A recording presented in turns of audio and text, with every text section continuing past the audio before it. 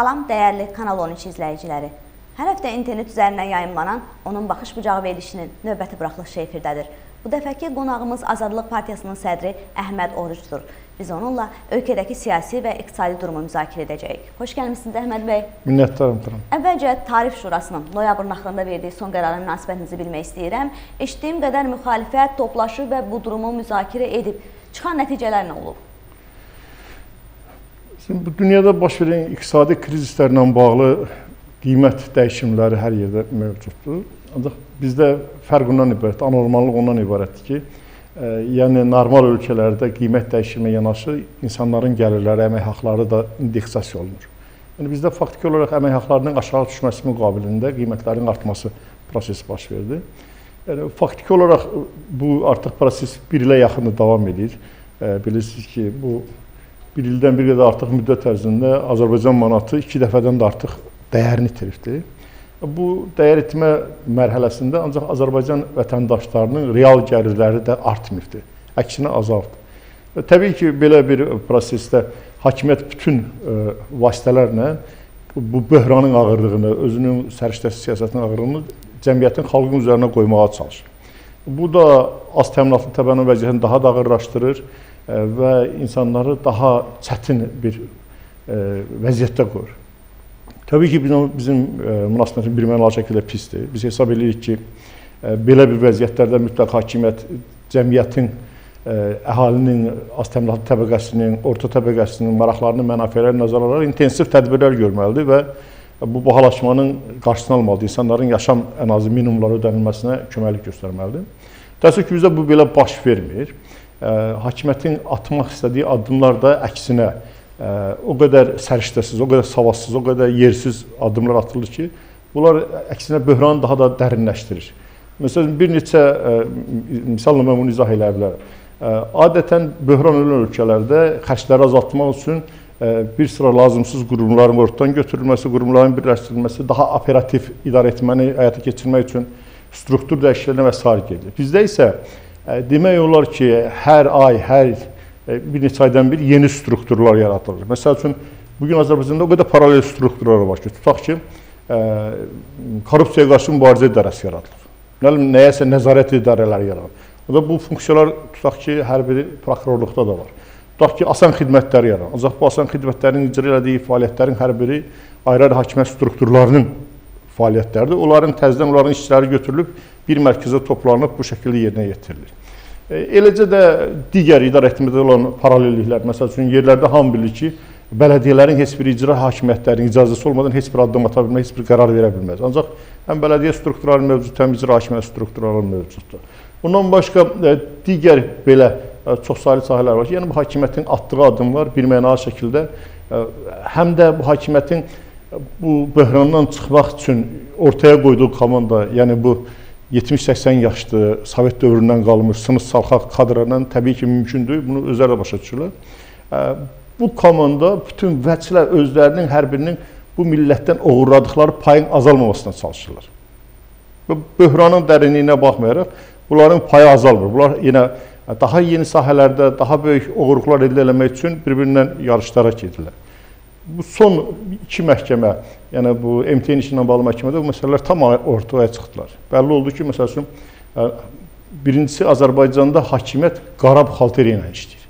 Yəni bu nə deməkdir? O deməkdir ki, Azərbaycanda real gəlirləri hakimiyyətin özü tərəfindən büdcədən gizlədilir. Azərbaycan vətəndaşından gizlədilir bir. Mütləq qara pullar yığılır, o pulların hesabına dövlət idarəsinin ən yüksək səviyyəsində olan insanlara yüz minlərlə paketlə pullar verilir. Yəni, bu gözəl bir. İkincisi bəlli oldu ki, tutaq ki, Azərbaycanda ə, Dövlət Bankından 8 milyard pul yoxa çıxıb, bankin müdiri tutulur, ancaq bankin müdiri hay salır ki, bəs bir soruşan yoxdur, 8 milyard hara gedibdir? Niyə soruşmursunuz? Həm mətbuata, həm müxalifətə ümumlanan suallar ortaya qoyur. E bunlar nəyə göstərir? Göstərir ki, faktiki ölkədə hakimiyyəti idarə etməli olan, qayda qanun yaratmalı olan insanlar özləri qanunsuzluqla məşğuldur. Onlar dövlət büdcəsini, milli sərvətləri talamaqla məşğullar. Bir. İkincisi, Azərbaycanda dövlət adını olan dövlət bankları, həm dövlət idarə etmə sistemləri, məhkəmələr, prokurorlar hamısı fiksiyadan başqa bir şeylər deyil. Bunların hər biri formal olaraq mövcud olsa da, ancaq Azərbaycanda idarə etmədə heç bir qayda, heç bir qanun gözlənilmir. Belə bir vəziyyətdə təbii ki, biz bu böhranla bağlı müzakirələr apardıq. Müxalifətin artıq bununla bağlı bir neçə toplantısı olub. Sədrlər səviyyəsində toplantılar olubdu. Bir də partiyaların rəhbər qurumlarının birgə iştirakında ADP-nin qərargahında 2 həftə əvvəl toplantımız olub. Hər iki toplantıda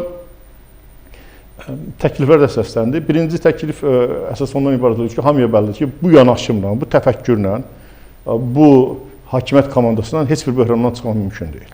Mütləq ciddi struktural Hökumət istifaya mı getməlidir? Mütləq nəinki hökumət istifa, hökumətin proseslərə baxışı dəyişməlidir. Hökumət bu cür yırtıcılardan açıq deyim də, bu cür oliqarxlardan, bu cür milyarderlərdən ibarətsə, bunlar öz mülklərinin artırılması uğrunda mübarizə aparırlarsa, heç bir qorxular, heç bir ə, nə deyim, açot-çotları yoxdursa, tutaq ki, ə, Dövlət Bankından 8 milyardı çıxardıb mənimsəyiblər, onun heç bir hesabı da sorulmursa, bu komanda nə edə bilər ki? Bu yalnız Azərbaycana ciddi fəlakətlər gətirə bilər. O baxımdan bizim ilk təklifimiz ondan ibarət oldu ki, hakimiyyətdəki normal adamlar ağlı başlarına başa düşməlidir ki, bu cür yanaşımla ölkənin daha ağır çıxılmaza, daha böyük böhranlara aparılır. Ona görə mütləq dəyişikliklər olmalıdır. Ya e, bu struktur dəyişiklikləri ciddi baş verməlidir. Ya bu sınıq salxaq komandadan can qutarılmalıdır, ya prezidentin özü istifaya getməlidir. Məsələn, hansısa biri mütləq reallaşmalıdır. Mənim özümün şəxsi fikrim ondan ibarət ki, bu komanda ilə bu böhrana çıxmaq mümkünsüz. Sizcə indi hansı olacaq? Hökumət istifaya gedəcək, dövlət başçısı özü istefa verəcək, yoxsa bu qayda ilə davam eləyəcək? Nə baş verəcək? Məncə üçüncü olacaq. Bunlar yəni bilirsən bu istefa açıq böyük bir mədəniyyət tələb edən bir şeydir. Bir ikincisi avtoritar rejimlərdə ümumiyyətlə istefa mədəniyyəti çox aşağı olur. Ona görə ki, uzun müddət ki, cəmiyyətdəki zorakı metodlardan istifadə edib idarə edirlər. Sonradan Həmin insanların özləri e, tutaq ki, düşünərək, daşınaraq, millətin marağını nəzərə alır, şəxsi marağını nəzərə alır, prosesdən kənara çəkilmə mexanizmi haqqında düşünmür. Fikir verin, bütün avtoritar rejimlərdə mütləq sonda e, ya ciddi faciələrlə nəticələnən ölkənin parçalanması, xalqın qarşıdurması, Orta Şərqdəki ölkələr buna ciddi misaldır, bir hələ gəlir və yaxud da xalqın ağıllı şəkildə ayaqlanmasıyla, millətin öz iradəsini ortaya qoymasıyla ə, e, bəzən buna məxbəri inqilablar deyirlər, bəzən də sivil yolla hakimiyyətin kənarlaşdırılması kimi proseslər e, ortaya gəlir. Məncə açığı istərdik ki, Azərbaycanda proseslər hamısı dinc məcrada, Azərbaycanda e, yəni intellektualların, ziyalıların istədiyi səviyyədə proseslər dəyişikliklər olsun, millətin varlığına. Ancaq ə, e, hakimiyyətin yanaşması açığı deyim, yəni cəmiyyətin ə, bugünkü biganəliyi proseslərin çox ə, ciddi kataklizmlərə, çox ciddi sarsıntılar aparıb çıxardığı qənaətindəyəm. Hesab edirəm ki, prosesin dinc yolla baş verməsi üçün zəruri olan komponentlər Azərbaycanda mövcud deyil. Nədir bu komponentlər? Mütləq prosesin dinc yolla aparılması üçün bir baz olmalıdır, bir bu iş aparmağa hazır olan bir kütlə olmalıdır, bir təbəqə olmalıdır. Bunlar da adətən cəmiyyətlərdə ziyalılar olur, siyasilər olur, ölkənin milli marağını düşünən bir təbəqə. Ha, bizdə niyə siyasilər yoxdur? Bizdə siyasilər var. Siyasilər yetərincə var, bizdə açıq deyim. Yəni bizdə siyasilər baxımından müxalifətdəki qoyulan heç bir problem yoxdur. Problem uzun illərlə aparılan baskı nəticəsində millətin susturulması, prosesdən kənarlaşdırılması, millətin e, sabaha inamının sarsılmasında baş verir. Yəni bu hakimiyyət artıq 23 illik hakimiyyət dövründə tək özü çapıb talamayıbdı. E, cəmiyyətin dayaqlarının hər birini öz cinayətlərini ortaq edir. Məsələn mən deyim nə cür yaxın. Tutaq ki, bunlar seçki saxta seçkiyə keçirməklə hər dəfə 20 min, 30 min ziyalını, müəllimləri, bilim həkimləri, mühəndisləri bu prosesə cəlb edir cinayətlər işinə. Bunlar real əmək haqqı sistemi verməməklə tutaq ki, icra hakimiyyəti strukturlarını, eləcə də polis orqanlarını, məhkəmə orqanlarını hamısını cinayətə, rüşvətə ortaq ediblər. Bunlar məsəl üçün şapka siyasəti yürütməklə Azərbaycanda iş adamlarının hamısını işini qurması üçün strukturlardan asılı vəziyyətdə olaraq rüşvət alış-verişində olmağa, öz təhlükəsizliyi üçün cinayət həlqəsində olmağa məcbur edirlər. Yəni bu hakimiyyət faktiki olaraq real ciddi dəyişikliklərin platforması hesab olan təbəqələrin hər birini öz cinayətinə bulaşdırıbdır. Mən sizə adi bir fakt çəkim. Bilirsiniz ki, Azərbaycanda bugün prezident təqaüdü adında bir məsələ var. Tutaq ki. Və yaxud ali məktəblərdə müəllimlərin maaşdan kənar paket sistemi var da, bilirsiniz, hər biri həm maaş alırlar, həm də müəyyən qədər güya ki, o özəl sektordan gələn pulların hesabına da əlavə əmək haqqı alırlar da bu şəkildə. Bu nə deməkdir? Bu demək ki, yəni artıq bu adamlar, bunlar da qara buxalteriya ilə işləməyə razıdırlar müəllimlər. Oradan əmək haqqılar bunun e, büdcədə nəzərdə tutulub tutulmağına maraqlı buna səsini çıxartmır ki, mən bəs ziyalı adamam, mən təmiz adamam. Mən niyə belə pul, mənim pulum, maaşım nədirsə onu əmək haqqı sisteminə qoy, elə verin. Bu yoxdur. İkincisi, görürsünüz ki, məsəl üçün 1000 manatlarla çox saylı cəmiyyətdə bu və ya digər nüfuzu olan, nə bilim, yazıçılar, şairlər, müğənnilər, sənət adamları da prezident təqaüdü ilə təqaüd alınırlar. Bu Bunların heç biri demir ki, bu təqaüd hardandır? Niyə görə mən kim müəyyənləşdirir ki, mən təqaüd almalıyam? Tutaq ki, şəhid ailəsindən 6 dəfə artıq mən təqaüd almalıyam. Yəni tutaq ki, hansısa bir müğənni Allah canına yaxşı səsi var, oxuyubsa, elə deyilmi? Bu Qarabağ uğrunda döyüşüb canını fəda eləmiş, bədəni yas etmiş adamdan niyə 4-5 qat artıq dolanmalı və s. Bu sualları belə qaldırmaq imkanında deyil. Yəni Azərbaycanda o ona görə mən bir qədər məsələlərə başqa cür baxıram ki, o real dəyişikliklərin aparılması üçün zəruri olan platformada o dayanan insanlar bu hakimiyyətin e, yürütdüyü bəxsəşən siyasət şəklində ya onun cinayət ortağına çevriliblər, ya susublar, ya ə, e, sındırılıblar, ya bir məsələ. Müxaliflərə gəldikdə isə müxaliflərin özünün də çox ciddi problemi var. Müxalifət Müxalifətin problemindən danışacağıq. Əvvəlcə soruşum ki, müxalifət aksiyaları müzakirə elədimi? Etiraz aksiyalarını. Biz 25-də e, ayın 25-də növbətdə bu məsələləri müxalifətin qarşısında duran vəzifələr mövzusunda 12 e, partiya bir yerdə müzakirəyə çıxartmaq istəyirik. 12 partiya. 12 partiya çıxartmaq fikrindəyik. 12 e, partiya yəni bu məsələyə qərar verənlərdən digər partiyalara dəvət olunubdu. Ötən tədbirimizdə də biz həmin partiyalara dəvət eləmişik. Bundan sonraki etapda da o partiyaları dəvət edəcəyik. Və hesab edirik ki, burada tədricən cəmiyyətdə bu hakimiyyətin avtoritarizma, törətdiyi özbaşınalıqlara yersiz həbslərə qarşı bir platforma formalaşmalıdır. Azərbaycan cəmiyyətində o demokratik mühit get-gedə daralır.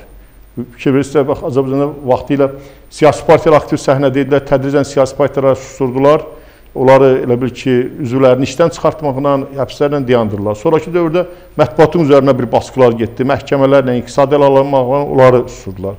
Sonrakı etapda qeyri-hökumət təşkilatlarının üzərinə bir baskı getdi, onları susturdular, müəyyən qismini ələ aldılar, müəyyən qismini satdılar. Sonrakı etapda vəkillərin üzərinə bir baskı getdi. İlk mərhələdə müxalifət idi, eləmi? Birincisi siyasi partiyalar üzrə gedir. Birinci siyasi partiyalar üzrə gedir. Normal ölkələrdə siyasi partiyalar bizim olduğumuz vəziyyətdə olmur axı. Elə deyilmi? Məsələn, fikirləşin, siyasi partiyanın fəaliyyət göstərməsi üçün mütləq bunun bir maliyyə dayaqları olmalıdır. Değil mi? Müxalifətdə olan siyasi partiyanın bilirsiniz, bütün bizim danışıqlarımız istənilən, istənilən vaxt heç bizdən soruşmadan yoxlaya bilirlər, girib oxuya bilirlər. Yəni bizim hansısa bir maliyyə imkanlarımız yaranan kimi hakimiyyətə dərhal bilir ki, bu hardan? Fikirləşin Azərbaycanda hansı bir biznesmen risk eləyib siyasi partiyaya tutaq ki, yardım eləyə bilər. Bu mümkünsüz deyil, deyilmi? Müxalifət partiyasının üzvünün hansısa bir normal vəzifədə işləməsi Azərbaycanda yenə mümkünsüz. Müxalifət partiyasının üzvünün hansısa biznes qurması, ciddi biznes qurub, o qazanması yenə mümkünsüz. Yəni burada qalıb farklı olaraq partiyaların maliyyələşməsi, ya partiyalar zəif fəaliyyət göstərir, məsələn bir neçə adamın elə bir şəxsi e, nə tür deyim, özünü qurban vermək hesabına fəaliyyət göstərir və yaxud bu partiyalar ya hakimiyyətin arxadan maliyyələşdirdiyi cib partiyalar olurlar və yaxud partiyalar hansısa kənar bir ölkələrin, kənar təşkilatların nəzarətində olan, onların maliyyəsindən fəaliyyət göstərən partiyalar. Yəni Azərbaycanın indiki hakimiyyəti, bu 23 illik hakimiyyət Azərbaycanda normal partiya quruculuğu üçün imkan vermir. Bunların təfəkkürü çox partiyalı sistemi qarışıqlıq kimi qəbul edir. Bunlar sözdə demokratik cəmiyyətdən danışsalar da fikir verirsə ki, 69-cu ildə Heydər Əliyevin hakimiyyətə gəlməsini bayram edirlər. Bunlar görürsünüz ki, bütün hər biri yenidən SSR-nin ayrı-ayrı e, rəhbərlərinin orden medallarını alırlar. Məsələn, bu yaxınlarda Siyavuş Noruzova Rusiyanın müdafiə qabiliyyətinin yüksəldilməsinə görə hansısa ya medal mı, ya orden verildi. Heç bunu soruşan olmadı ki, bu Rusiyanın müdafiə qabiliyyətinin gücləndirilməsi bunun işi nədən ibarətdir? Yəni dediyim odur ki, bu hakimiyyətin təfəkkürü açıq deyil. Nə müstəqil dövlət quruculuğu üçün, nə milli dövlət quruculuğu üçün, nə sivil dövlət quruculuğu üçün yetərli deyil. Bunların hamısı göstərdikləri belə göstəri üçün olan bir şeylərdir, sivil görünmək üçün olan məsələlərdir. Ancaq o sivil cəmiyyətin quruculuğu üçün zəruri olan e, şərtlərin heç biri ödənmir. Dünyanın hər bir yerində normal cəmiyyət qurucularının təfəkkürdaşları bilirlər ki, ən birinci e, məsələ ondan ibarət ki, insanların iqtisadi təminatı olmalıdır bir, normal bir özünü hiss eləməsin. İkincisi, insanlar qanunu pozmadan yaşam imkanına malik olmalı, dolanışıq imkanlarına olmalı. Ancaq Azərbaycanda cəmiyyət elə qurulub ki, qanunu pozmadan normal yaşamaq mümkünsüzdür. Bu məsələ qəti şəkildə faktiki olaraq tutaq ki, müəllimə 150 manat, 160 manat maaş verir. Həkimə 180 manat maaş verir. Hansı ki, bu həkim hər gün insanlar, tutaq ki, cərrahdır, e, insanların ürəyində operasiya aparır. Yəni bunun özüm yanaşı göstərir, bu hansısa başqa yollarla mütləq bir dolanışıq yol tapmalıdır. Yəni buna normal yaşaması üçün imkan verməlidir. İkinci qanunlar bizdə elə qəbul olunur ki, o qanunları pozmadan yaşamaq mümkün deyil. Və bu yanaşımın özü Azərbaycanda normal bir cəmiyyətin, normal bir təfəkkürün quruluşuna e, ciddi problemdir.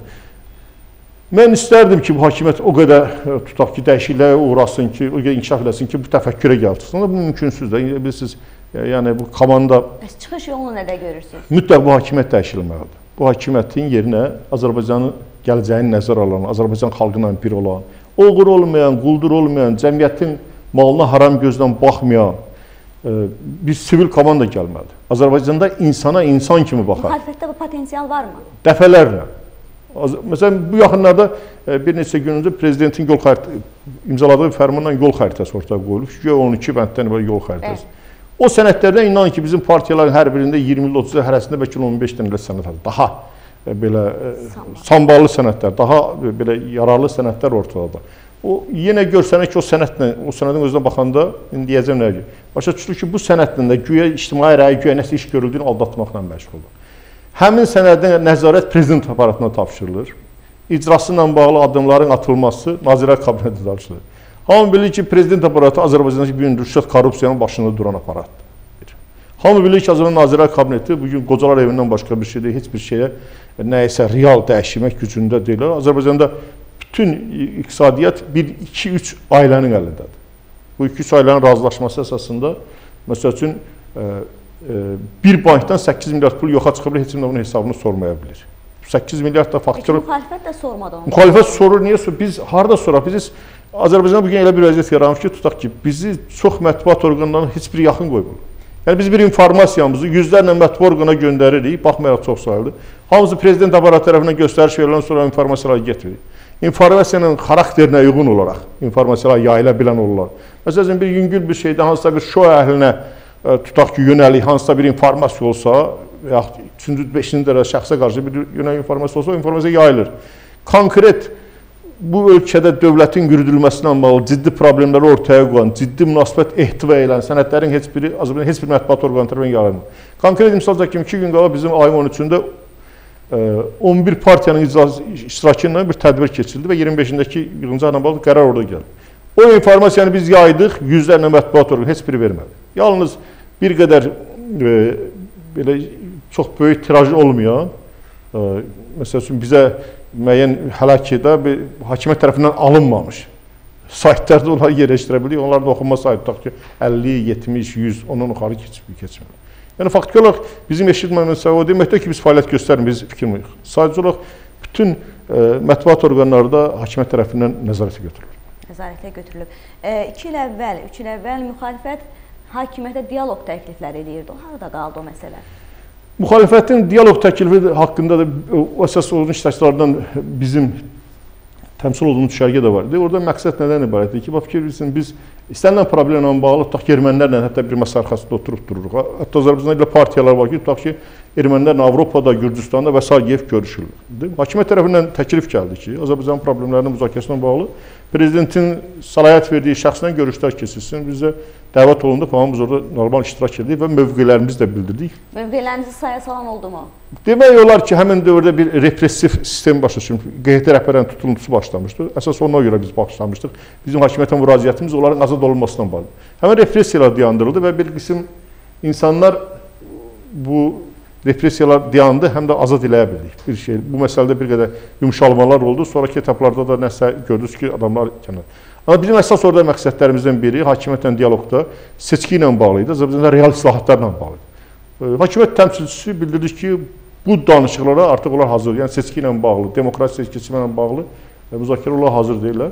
Və seçki ərəfəsində yenidən o saxtakarlıq mexanizminin işə düşməsi, yenidən tutaq ki, hakimiyyətin 7-ci dərəcə üzvlərinin ortaya çıxıb, nə hakimiyyət çox saylı lentlər kəsib, nə qırmızı lentlərlə, nə ilə müxalifətə kostyum tikərik və s. kimi ifadələrlə ürək bulandıran ifadələr verdilər.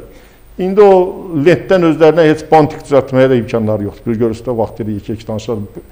Bahalı neftdən gələn pulların hesabına onun bir çox hissəsini mənimsəyirdilər, bir 10-15 faizini orada burada e, nə bilim park zad açırlar. Elə bilirlər ki, bu Azərbaycanın ciddi bir e, struktur qurulur. Görürsüz ciddi bir iqtisadi problem ortaya çıxan kimi bu hakimiyyətin yararsızlığı dərhal gəldi ortaya çıxdı. Və ümumiyyətlə götürəndə bu hakimiyyətin indiki dövrdə bundan sonraki aparacağı siyasətlə bağlı da aydın bir xətti yoxdur. Bunlar vaxtı uzatmaqla, vaxtı keçirməklə, diqqəti yayındırmaqla belə bir bir necə müəyyən müddətdə nəsə düzələrsə belə bir şeylər olur. Bunların son fikir verin vergi ilə bağlı islahatlar keçiblər. Tutaq pinətçidən ayda 5 manat vergi alacaq. Bunlar rəsmi hesabla ölkəyə gəlmiş 150-160 milyard pulun dalına keçiblər, üzr istəyirəm ifadəyi. Bunu məhv eləyiblər. İndi pinəçidən 5 manat almaqla bunlar iqtisadiyyatı düzəltmək kimi güya ki, bu, bu ağır, bu belə bir təfəkkürlə ortaya çıxır. Elə də digər sahələrdə, nə bilim, ə, həkimlərlə, tamadalardan güya ayda 30 manat alacaqlar, bununla da Azərbaycanın büdcəsi düzələcək kimi belə bir təfəkkür ortaya qoymuşdur. Bilirsiniz ki, uzun illərdir ki, Azərbaycanda belə fikir səslənir ki, neft Azərbaycanın milli sərvətidir. Bundan bu, milli sərvət talan olundu. Bu milli sərvətin talan olmasından bir neçə ailə milyarder oldu. Çox böyük. Azərbaycan xalqının milli sərvəti əlindən getdi. Heç bir problem ortadan götürülmədi. Nə iş yerləri var ortada faktiki olaraq, nə Azərbaycan insanına resurs kimi elə bir maliyyə qoyulmadı ki, tutaq ki, bizim həqiqətən üstün səviyyəli mütəxəssislərin ortaya gəlsin, Azərbaycanda istehsalat sahələri düzəlsinlər, yüksək texnologiyalar ortaya gəlsinlər. Bu məsələ olmadı. Nə də Azərbaycanın köklü probleminə heç bir tutaq Dağlıq Qarabağ proqramı tərəfində nəinki irəliləməli oldu, əksinə geriləməli oldu. Yəni faktiki olaraq bu hakimiyyət komandası Azərbaycanın milli sərvətlərini talan elədi. Azərbaycan heç bir problemi həll eləmədi, problemi get-gedə ağırlaşdırdı. Yəni bu baxımdan biz deyirik ki, bu təfəkkürlə, bu yanaşma ilə, bu komanda ilə heç bir problem həll etmək mümkün deyil. Müxalibətin əsas vəzifəsi toparlanıb bir araya gəlib, Azərbaycanda hakimiyyətə gələcək, Azərbaycanın bu vəziyyətdən çıxaracaq biləcək cəmiyyəti inandırıb ətrafına toplamaqla bir proses başlamalıdır. Bunun üçün biz 12 partiya bir aradayıq, ilkin olaraq müəyyən görüşlərimiz, müəyyən tədbirlərimiz olur. Və biz ümid edirik ki, prosesin sonrakı etapında müxalifət daxilindəki pərakənləri ortadan götürmək mümkün olacaqdır. Uzun illərdir müxalifətdəyik biz, 23 ildir, 24 ildir. Burada da vəziyyət bilirsiniz ki, o deyir, yer bəlkə olanda öküz öküzdən görə də hakimiyyətə gələn uzun müddət müxalifətdə qalmaq açıq adamları da bir rəncid edir. Müəyyən zəifləmələr var. Eynən də liderlər arasında da bir xoşa gəlməz münasibətlər var. Bu proseslərin hamısı göstərir ki, Azərbaycan milli maraqları naminə yenidən yeni bir gənclər sistemi də cəlb eləməklə mütləq Azərbaycanın milli maraqlarını düşünən, Azərbaycanın savağını düşünən qüvvələr bir araya gəlməlidir. Ən azı bu hakimiyyəti bu antimilli kursdan, açıq deyim də, dövlətlərin, talan, dövlətin sərvətlərinin talanımız kursundan çəkindirmək lazımdır. Mən sonda bir söz deyim ki, mən o fikirdəyim ki, Azərbaycan indiki sərvətlər, indiki qazıncı da belə Azərbaycan cəmiyyətinin normal dolanmağına bəhs elər. Fikir verirsinizmi, son məhkəmə prosesində ə, e, Yüksək Texnologiya Naziri müavini dedi ki, biz büdcənin formasını elə formalaşdırırıq ki, 20 manatlıq işi 100 manat yazırıq. Yəni o 20 manat iş görülür, 80 manatlar mənimsəyirlər. Bu hakimiyyət, bax, bütün Azərbaycan büdcəsinin 80%-ni mənimsəyir. O mənimsəməni dayandırsalar, indiki real Azərbaycan büdcəsində bir Azərbaycan normal dolanmağa imkan verən. Yəni Azərbaycanın qazı var satılır, fakir nefti var satılır, Azərbaycanda təbii sərvətlər digərləri var. Azərbaycan insanı işləyir gecə gündüz bütün hər yerdə əkin, biçin gedir. Yəni bu Azərbaycanlılar normal ən az dolanmağa Azərbaycanın indiki indiki halında belə imkanları var. Böyük neft pulları olanda hələ çox böyük şey imkan var. Yəni yenə bu hakimiyyət bu problemdir. Ona görə ki bu 10 minlərlə, 100 minlərlə rüşvətxor, oğru, quldur millətin qanuna susamış dəstə bugün hakimiyyətdədir. Bunlar gecə-gündüz cəmiyyəti simirməklə, insanların varını dövlətin əlinə almaqla məşğul olur. Ona görə biz deyirik ki, mütləq milli millətin sabahını düşünən insanlar, milli e, proseslər görən insanlar, e, hakimiyyətin məcbur edib bu gün susurduğu ziyalılar, institut müəllimləri, orta məktəb müəllimləri, həkimlər, baş çıxan insanlar, bu yaradıcılıq adamlar hamısı təfəkkürlə fikir düşünməlidir. Bizim arxamızda, bizim yanımızda dayanmalıdır. Ona görə ki, biz haqlıyıq bu gün. Bizim başqa bir davamız yoxdur. Yalandan orada burada deyirlər ki, müxalifət hamısı nə, nəyə neyifdir, satılıb, nə hakimiyyətdən nə alıb öz mənasını. Tamamilə yalan söhbətdir. Mən istənilən atır, istənilən bir də sübut edərəm ki, onu da insan gözünün içinə kimi yalanlar. Biz bütün ömrümüzü bu millətə həsr eləmiş adamlarıyıq. Və məndən də bu məsələdə daha çox enerji qoymuş yüzlərlə, minlərlə Azərbaycanda müxalifətçilər var. Repressiyalardan keçib, ailələri dağılıb ancaq haqq deyib, milli xətt deyərək o xəttin arxasında yürürlər. Bu gün də həbsdə olanlarımız var bizim. Ölkədən məcbur olub qaçanlarımız var məsələn. O qüvvələrin arxasında dayanmaq lazımdır. O qüvvələrin biri olmaq lazımdır. Bunun başqa yolu yoxdur. Azərbaycanı biz özümüz düzəltməliyik. Hansısa kənar qüvvənin, güya gəl Azərbaycan normal cəmiyyət düzəldəcək, hakimiyyət də bizə verib gedəcək, biz də burada normal insan yaşayıb, bu mümkünsüzdür. Bütün cəmiyyətlər, bütün üstün cəmiyyət, bütün normal cəmiyyətlər vətəndaş, həmin ölkənin vətəndaşlarının çox böyük enerjisi, əzabı, iztirabı, döyüşləri, qurban getməsi hesabına olubdur. Götürün istənilən Avropa ölkəsini, istənilən Amerikanı, Yaponiyanı. Mü- Müxalifət e, qurban getməyə hazırdırmı? Son olaraq soruşuram. Biz faktiki olaraq qurban etdik xanım. Mən 28 yaşımdan indi 56 yaşım var. Meydanlardayıq. Bunun e, demək olar ki 95-ci illərdən bəri heç yerdə işləmirəm. Məsələn. Eynən də tutaq bizim ailə üzvlərimiz, qardaşım, məsələn, mənə görə işləmiş və sair digərləri. Faktiki olaraq yəni biz ə, heç bir döyüşdən də qaçmamışıq da, heç bir yerdə məsələn döyüşdə də iştirak eləmiş hər yerdə. İndi tutaq ki, güllə bizə dəyməyibsə, bu məsələdə bizim günahımız yox. Biz mütləq gedib elə hamımız özümüzü öldürməliyik, inansınlar ki, biz fakt ortadayıq. Bu məsələlərdə ortadayıq. Müxalifətdə də gözünüzün qabağındadır. Repressiyalar, heç bir şeydən cibinə nəşə atılıb tutulanlar, şərrənib tutulanlar, Facebookda status yazdığına görə tutulanlar hamısı ortadadır. Yəni bu baxımdan Azərbaycanda yetərincə iradə var, milli iradə var. Tamam, təşəkkür edirəm sizə ətraflı cavablar üçün. Minnətdaram, sağ olun. Dəyərli Kanal 13 izləyiciləri, bu dəfəki qonağımız Azadlıq Partiyasının sədri Əhməd Oruc idi. Siz müzakirə etdiyimiz məsələyə bu dəfə onun baxış bucağından baxdınız. Bizi izləməyə davam edin.